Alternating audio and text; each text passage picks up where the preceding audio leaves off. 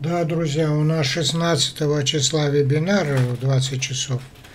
А, это последний вебинар а, для людей в мудрых возрасте, потому что это вебинар как сохранять в себе красоту и молодость, энергию молодости, драйв молодости вечно, вечно сохранять. Ну, как я сохраняю с помощью ключа. Потому что у каждого из нас душа молодая, несмотря на возраст. А вот эти все напластования телесные, которые есть, оказывается, можно сбрасывать, убирать, включая эндорфиноподобные гормоны, потому что у нас большая связь между сознанием, организмом. И вот ключ – это точка пересечения между умом, сердцем и телом. И когда все согласовано, а это делается с помощью ну, короче говоря, на вебинаре все будет дано. Но я здесь хотел сказать немножко и о другом.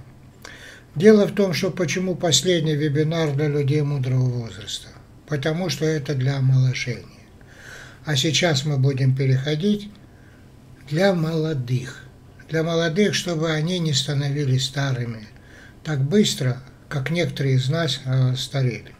Для того, чтобы они меньше делали в жизни тех роковых ошибок для того, чтобы они больше свой творческий потенциал могли быстрее понять и реализовать, чтобы найти свое место в жизни. А я вам сейчас покажу. Несмотря ни на что, несмотря ни на возраст, несмотря ни на какие бытовые неурядицы, я, например, человек молодой, человек счастливый, и мне вот недавно написали – что вы счастливы потому, что, несмотря ни на что, вы сумели сохранить себя.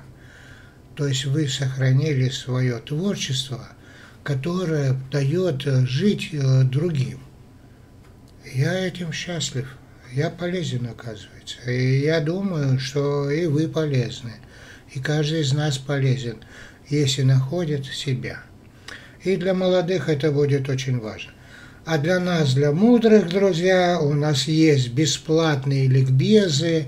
Открывайте на YouTube, э, на моем канале, подписывайтесь, кто не подписанный, там на главной странице плейлист «Бесплатные ликбезы». И там по 3-4 часа, по 2 часа подряд э, выходят в Zoom, и там дают друг другу советы. Там смотрите, и вы все там получите бесплатно. И вот еще. У нас есть два сайта. Сайт э, с видеоматериалами историческими, раритетными, это stress.su. И у нас есть новый сайт, который давно ведет Федор Макаров, наш сценарист, э, с которым мы в свое время писали книжку «Национальная идея э, России. Генератор будущего». Федор Макаров. Это сайт, который называется Хасай.ру. Рекомендую. Там очень много разных страниц, очень много интересного. Рекомендую. Итак, Хасай.ру сайт. А теперь я вам вот что хотел сказать. Вот видите, ангел-велосипедист. Ко мне, вон картина рядом стоит, вон она с той стороны. Я ее очень долго рисовал, потому что мне надо было, чтобы колеса крутились.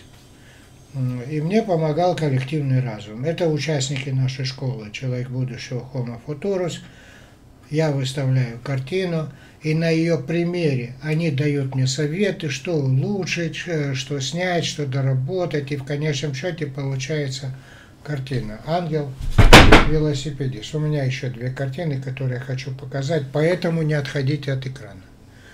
Итак, колеса крутятся. Приходит ко мне Роман Газенко, мой друг, с Яной. Яна сфотографировала картину и сделала мне в подарок на майке да. Короче, об этом, об этом, как на майке картины делаются мои, я вам потом расскажу. А, теперь я вам хотел вот показать картину. У меня, значит, есть картина, которую я тоже долго-долго рисовал. Я написал Андрею Зорину, как тебе эта картина? А он посмотрел и говорит, сказочный городок. Сказочный городок – ну да. Кстати говоря, кто не в курсе дела, у меня картины хорошие, потому что это авторская живопись, ни на кого не похожая. И в этом отношении у меня есть, например, для вас, чтобы вы посмотрели на эту девушку в этой шляпе. И тоже в коллективном разуме написали мне комменты, что добавить, что убавить.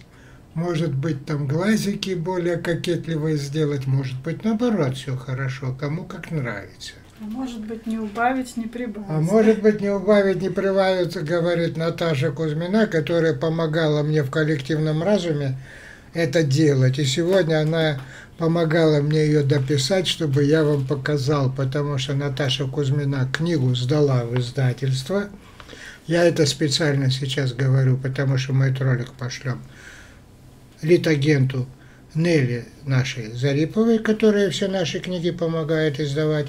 Она покажет там в издательстве, что мы уже рекламу книги делаем, что запрос уже есть, что все давно ждут. Семь лет она ее писала. И, наконец, она ее сдала. И я думаю, Беларусь будет счастлива. Ну, мы, конечно, в России тоже будем счастливы. Чего смеешься? Не семь Я лет. ее иногда называю белорусский партизан. Ну, а что тут плохого? Это как раз хорошо. Теперь дальше. Посмотрите.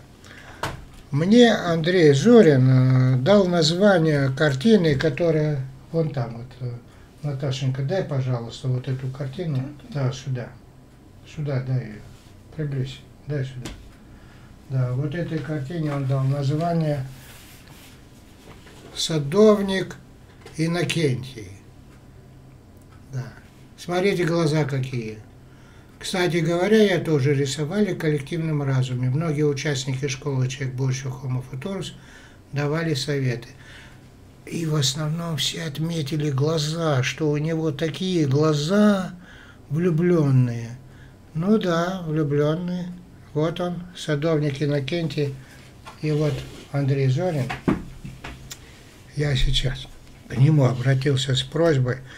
Я написал пять версий одной картины. Вот это последняя версия. Последняя версия. Но он выбрал из пяти версий третью. Третью я покажу в следующий раз. Третью покажу. Вот она у меня сфотографирована. И он ее назвал, третью картину назвал. Сейчас я вам прочитаю. Что же он мне написал? Не уходите пока. Он мне написал. Это же в зеркальце смотрит. Смотрится в зеркальце. И он написал, посмотри на себя, ты совершенство. Это третья, третья картина. А пять этих картин он написал, пять, как он написал, пять, ну не, не, не триптих, а пять, пять, ну вы мне подскажите, я вот забыл это слово, когда не триптих, а вот, вот сейчас, сейчас, секунду, пять, вот, вот, вот, вот, вот, вот, вот, вот, вот, вот, вот, пятиптих. Ну, Андрюшка, пятиптих. Да, написал пятиптих. А, Но среди них э, выбрали третью. Он выбрал третью. Посмотри на себя, ты совершенство. Там в зеркальце этой картины еще раз покажу. А это уже пятая, пятая версия. Да. Да, вот-вот зеркальце смотрит. Итак, друзья, я вас всех с весной поздравляю. Весна идет, погода как-то у нас колеблется, многие чувствуют ее давление. Да, я тоже чувствую, но я сбрасываю, несмотря ни на что. На вебинаре, который пройдет у нас завтра, 16 марта в 20 часов, в Zoom, когда начнется трансляция, мы дадим, сбросим ссылку на Zoom. Выходите, пожалуйста, все.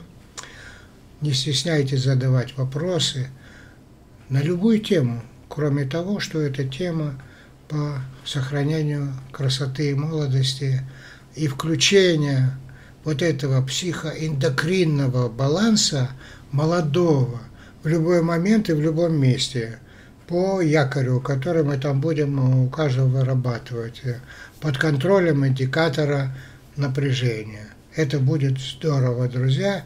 Итак, до встречи. И потом мы уже Будем посылать всех на бесплатные ликбезы, которые опубликованы. Смотрите, вебинары больше эти делать не будем, а будем делать только для молодых, чтобы они развивались, были здоровы, счастливы, как мы, да, и могли учить своих детей, внуков и правнуков, чтобы мы все были живы. Как сказал однажды мой знакомый, который прилетал ко мне в Махачкалу еще в Центр защиты от стресса, который даже со мной подрался, потому что он все время со мной конкурировал. Вам говорит, не надо писать стихи, потому что он считал, что стихи пишет лучше. Но он тогда написал одну удивительную вещь. Это была строчка. «Была бы жизнь, а смысл найдется». До встречи, друзья.